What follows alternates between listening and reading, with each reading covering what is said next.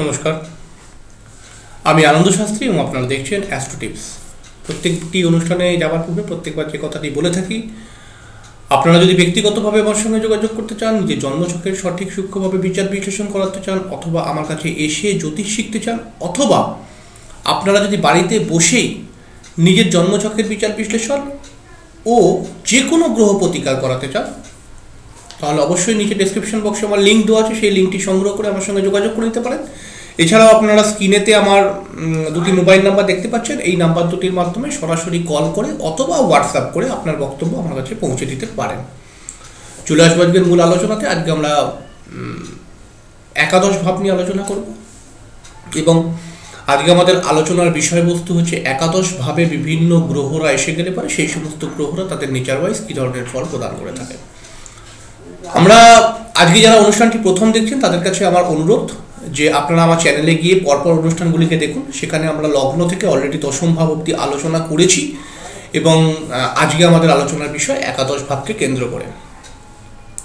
প্রত্যেকবার যে কথাটি বলে থাকি যে প্রত্যেকটি ভাব বিচার করার ক্ষেত্রে বিশেষ বিষয়টিকে মাথায় রাখতে হবে। অর্থাৎ একাদশ ভাব যখন আমরা বিচার করব, সেখানে আমাদেরকে খেয়াল রাখতে হবে যে এই ভাবের সম্পূর্ণ ফলাফল একাদশ ভাবের অধিপতি, একাদশ ভাবের ওপর অবস্থিত গ্রহ, একাদশ ভাবের ওপর দৃষ্টরত গ্রহ এবং একাদশ ভাবের কারক গ্রহ বৃহস্পতি।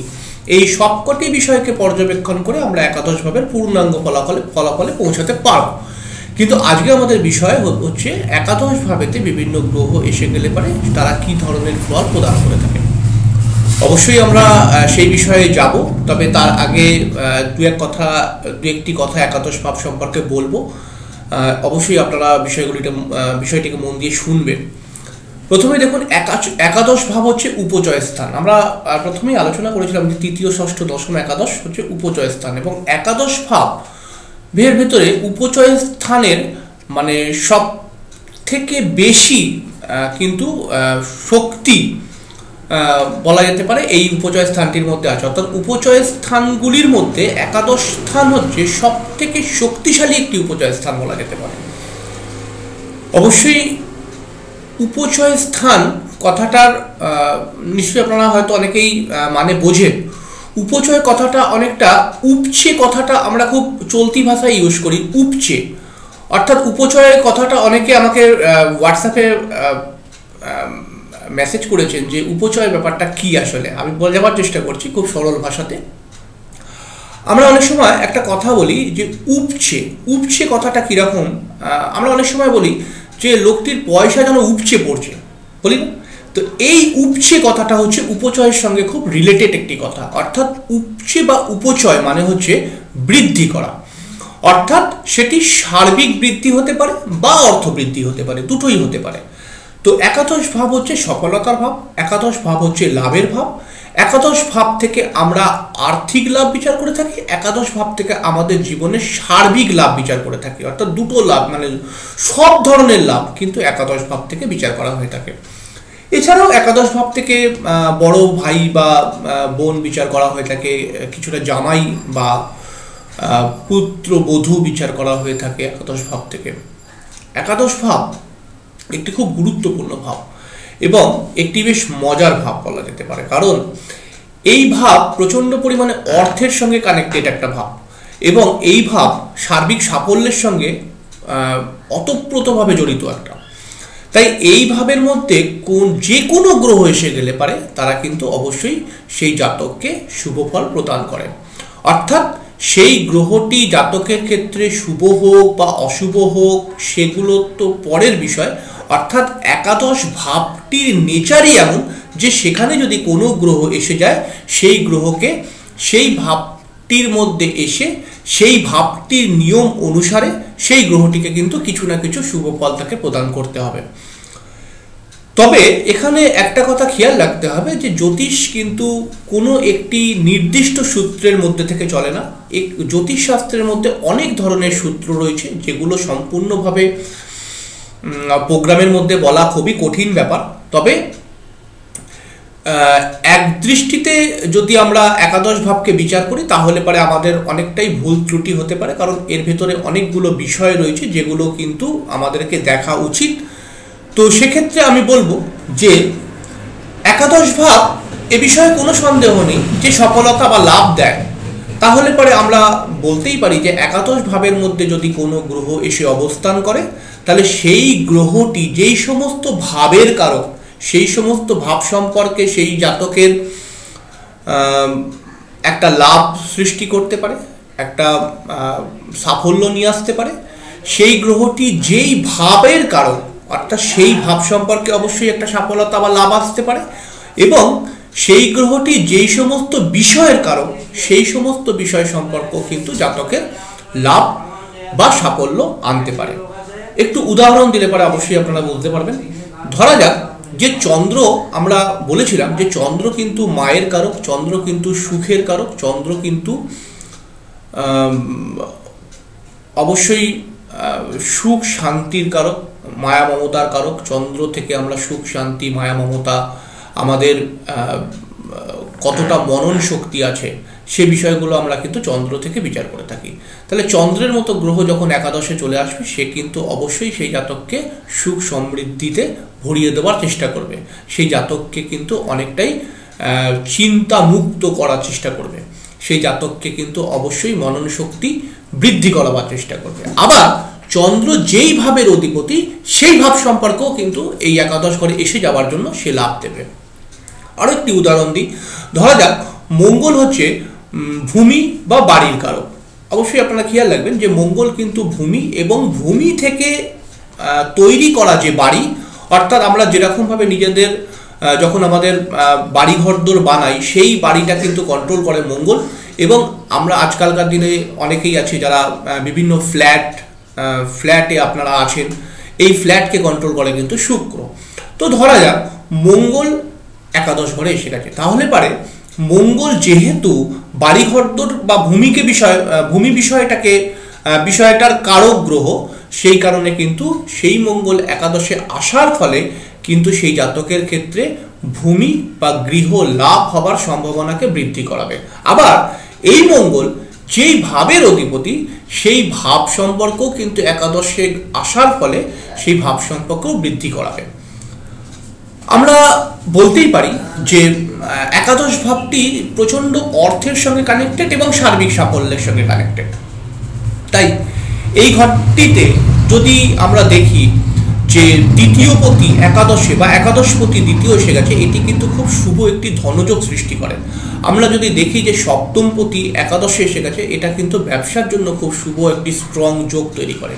আমরা যদি দেখি দশমপতি একাদশে এসে গেছে, এটা কিন্তু কর্মের জন্য বা ষষ্ঠপতি একাদশে এসে গেছে বা একাদশপতি ষষ্ঠে চলে গেছে, এটি কিন্তু তার কর্মের জন্য কিন্তু খুব ভালো একটি যোগ সৃষ্টি করেছে।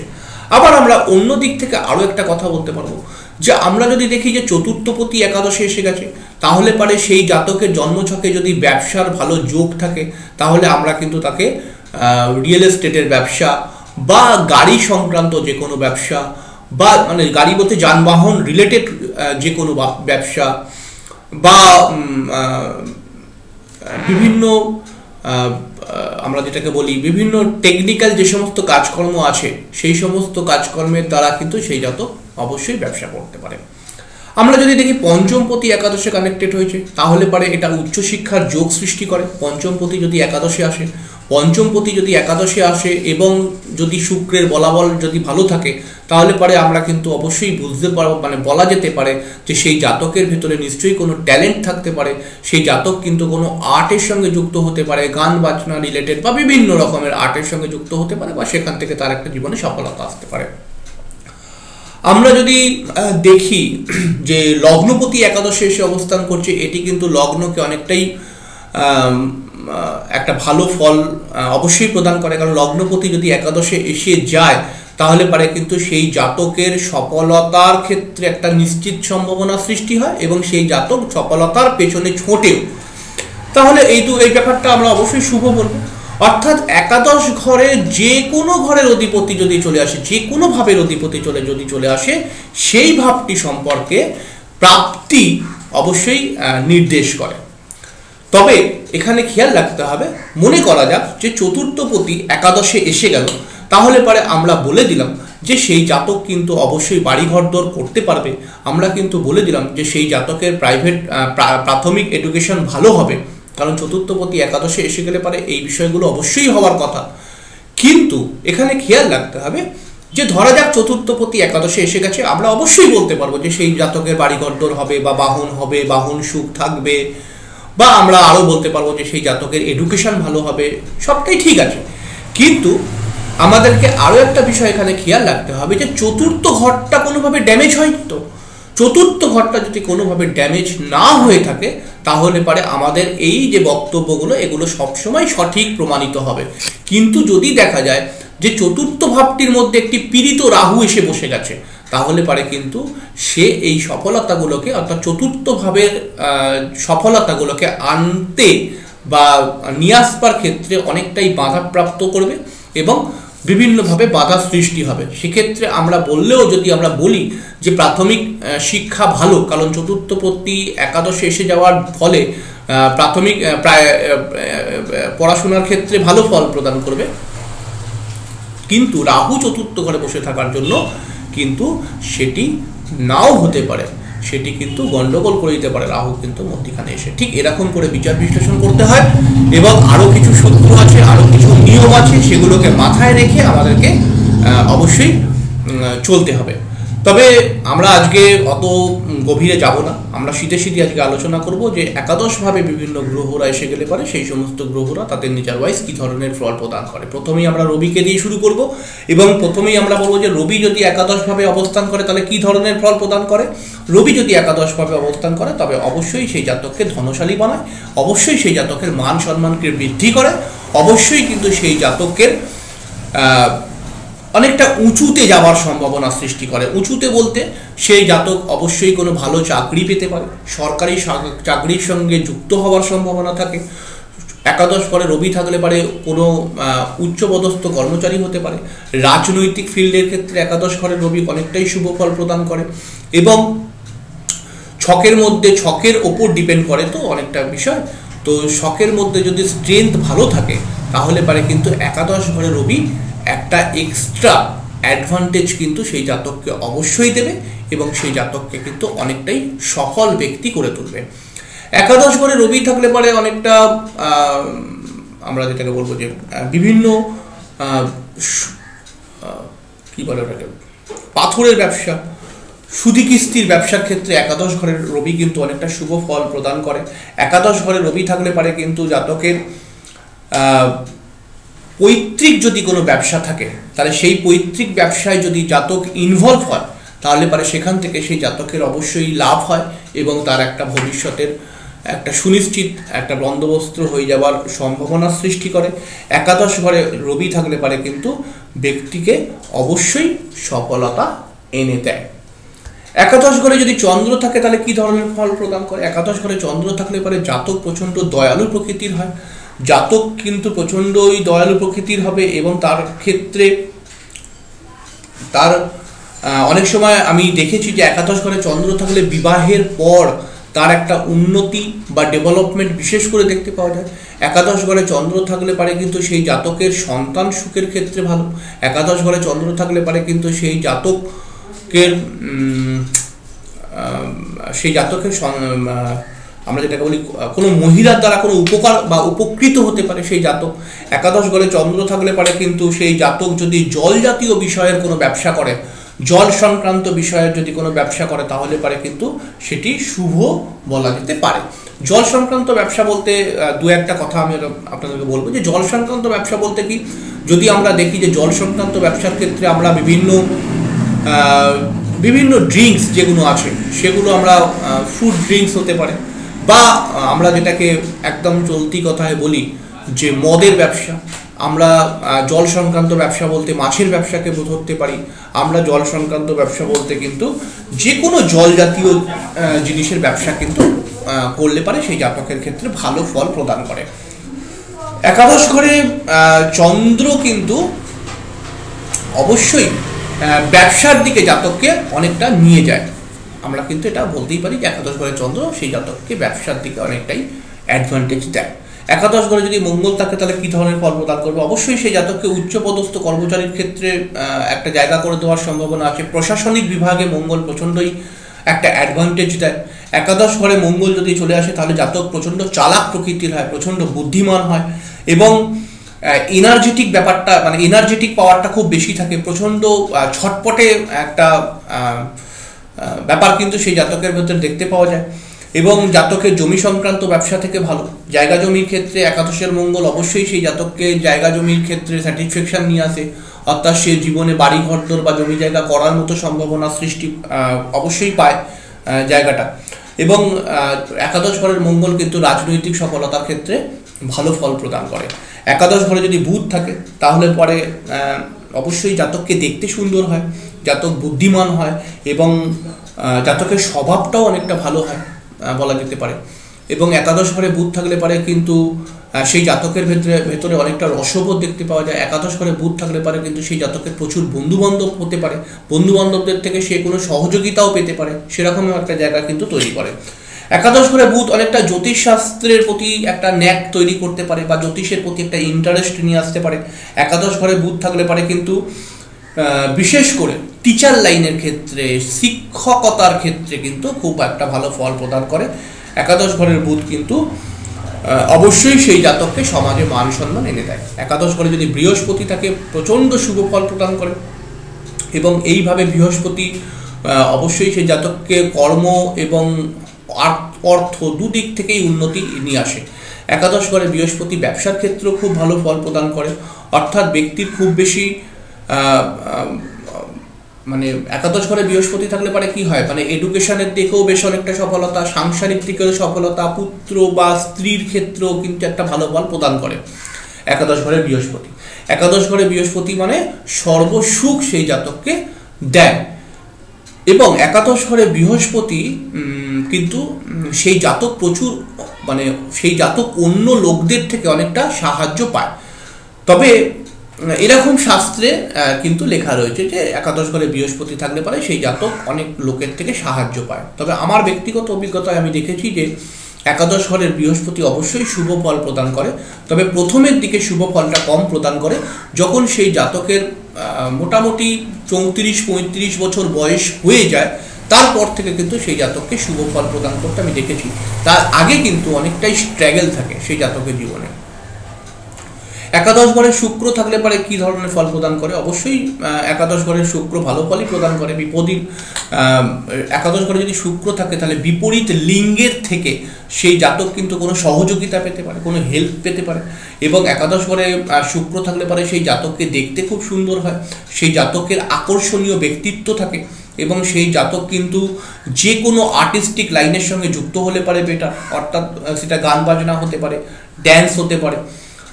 কোনো রকম বিউটি কোর্স হতে পারে বিউটিশিয়ানের বিভিন্ন কোর্স হতে পারে টিভি মিডিয়া হতে পারে অ্যাক্টিং হতে পারে, এই সমস্ত লাইনের সঙ্গে মডেল হতে পারে ফিল্ম যে কোনো ধরনের এই সমস্ত আর্টিস্টিক লাইনের সঙ্গে যুক্ত হলে পারে।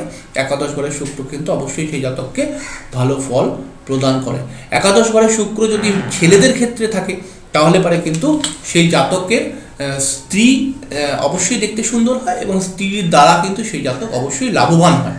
এবং একাদশ ঘরে শুক্র থাকলে পারে সেই জাতকের ভেতরে কিন্তু অনেক ধরনের গুণ দেখতে পাওয়া যায়। একাদশ ঘরে যদি শনি থাকে, অবশ্যই শুভ ফল প্রদান করে। কারণ আমি বলেছি যে একাদশ ঘরে সব গ্রহ শুভ ফল প্রদান করবে। এবং একাদশ ঘরে শনি থাকলে পারে অবশ্যই শনি কিন্তু একাদশ ঘরে থাকলে পারে সেই জাতককে ব্যবসার ক্ষেত্রে এটা খুব ভালো। শনি একাদশে থাকলে ব্যবসার ক্ষেত্রে খুবই ভালো ফল প্রদান করে। এবং এমন ধরনের ব্যবসা শনি একাদশে থাকলে পারে দেয় মানে সেই জাতকের কাছে মানে এমন ধরনের ব্যবসা দেবে যাতে সেই জাতকের কাছে কিছু লোক কাজ করবে। এরকম ধরনের ব্যবসা কিন্তু দেবে। তো যাই হোক, একাদশ করে শনি থাকলে পরে বন্ধু বান্ধব কম হয়। খুব একটা বন্ধু বান্ধব হয় একাদশ ঘরে পরে, শনি থাকলে পারে, শরীর স্বাস্থ্যের কিছুটা সমস্যা ক্রিয়েট করতে পারে। একাদশ ঘরে শনি থাকলে পারে প্রেমের ক্ষেত্রে কিছুটা অসফল করতে পারে, একাদশ ঘরে শনি থাকলে পারে, সন্তান সুখের ক্ষেত্রে কিছুটা হানি নিয়ে আসতে পারে, কিছুটা সমস্যা ক্রিয়েট করতে পারে। তবে একাদশ ঘরে শনি কিন্তু আর্থিক দিক থেকে অনেকটাই ডেভেলপ করায়, সমৃদ্ধি বা সমৃদ্ধিটা দেয়, তবে সুখের ক্ষেত্রে কিন্তু একটু প্রবলেম ক্রিয়েট করে। একাদশ ঘরে শনি কিন্তু রাজনৈতিক দিকে অনেকটা সফলতা প্রদান করে থাকে এবং লোহা বা মেটাল রিলেটেড যে কোনো ব্যবসার সঙ্গে সেই জাতক যদি যুক্ত হয়, একাদশ ঘরে শনি কিন্তু অবশ্যই ভালো ফল প্রদান করবে। এছাড়াও একাদশ ঘরে শনি থাকলে পারে গাড়ির ব্যবসার ক্ষেত্রে ভালো বলা হতে পারে। মানে যান মানে মাল বহনকারী গাড়ির ক্ষেত্রে কিন্তু একাদশ ঘরে শনি ভালো ফল প্রদান করে। একাদশ ঘরে যদি রাহু থাকে, তাহলে পরে কি হয়? একাদশ ঘরে রাহু কিন্তু অবশ্যই ভালো ফল প্রদান করে। রাহু এমন একটা গ্রহ, আমি হয়তো আগে বলেছিলাম যে রাহু রাহু হঠাৎ ফল প্রদান করে। রাহু কিন্তু বলে কয়ে কোনো ফল প্রদান করে না। মানে কালকে রাত্রিবেলাও কালকেও কেউ জানবে না যে আজকে রাহু তাকে কি ফল প্রদান করবে। এরকম ধরনের একটা ফল রাহু প্রদান করে। একাদশ ঘরে রাহু কিন্তু হঠাৎ লাইফের পরিবর্তন নিয়ে আসে।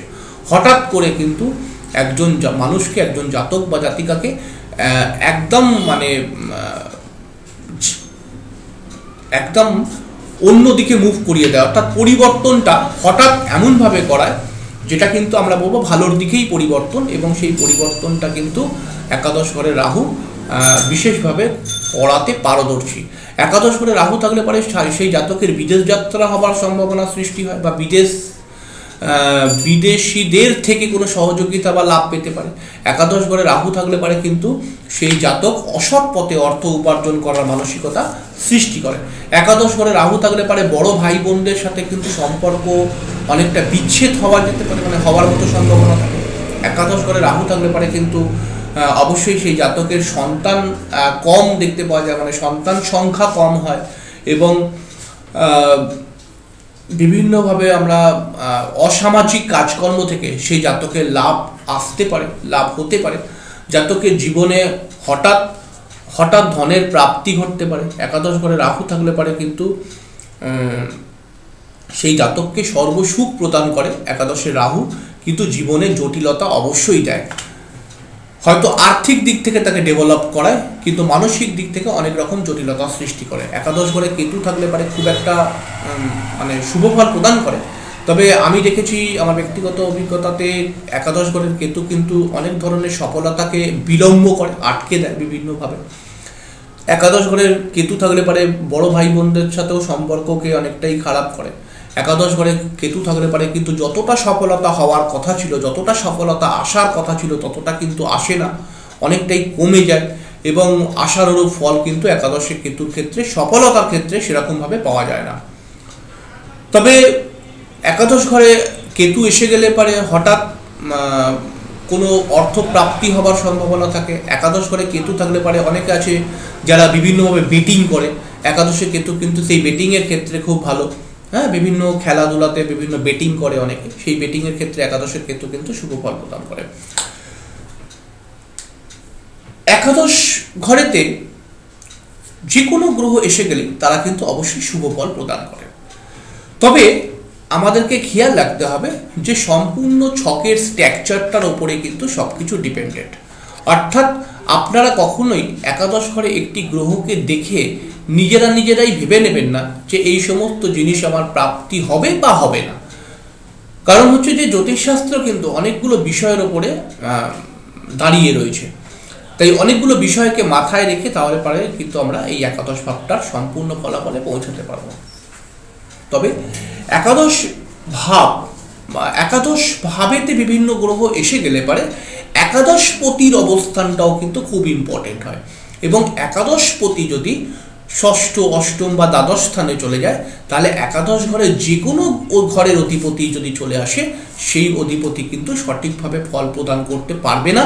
কারণ হচ্ছে একাদশপতি নিজে অশুভ স্থানে গিয়ে অবস্থান করছে।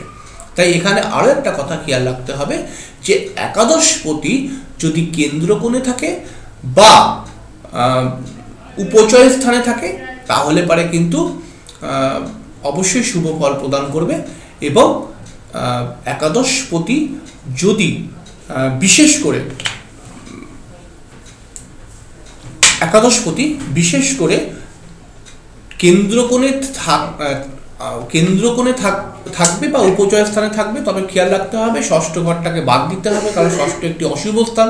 সেখানে থাকলে পরে কিছু সমস্যা অবশ্যই ক্রিয়েট করবে।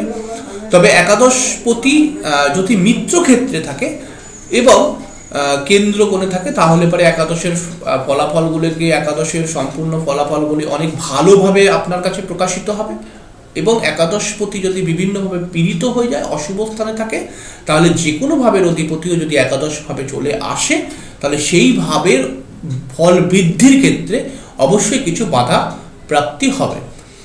এই হলো সামান্য করে একাদশ ভাব নিয়ে আলোচনা করলাম। এরপরে দ্বাদশ ভাব নিয়ে অবশ্যই আলোচনা করব, করে আমাদের শেষ হয়ে যাবে। আমরা বারোটি ভাব সম্পর্কে অলরেডি বলে ফেলব। এবং তারপরে আমাদের আলোচনা হবে বিভিন্ন যোগ সম্পর্কে এবং যোগের ভালো এবং খারাপ দুটো ব্যাখ্যা নিয়ে আমি আলোচনায় আসব খুব তাড়াতাড়ি। আপনারা অবশ্যই অ্যাস্ট্রোটিপস দেখতে থাকুন। এবং আজ এই পর্যন্ত। পরের দিন আবার আপনাদের সঙ্গে দেখা হবে। ততক্ষণের জন্য নমস্কার ও ধন্যবাদ।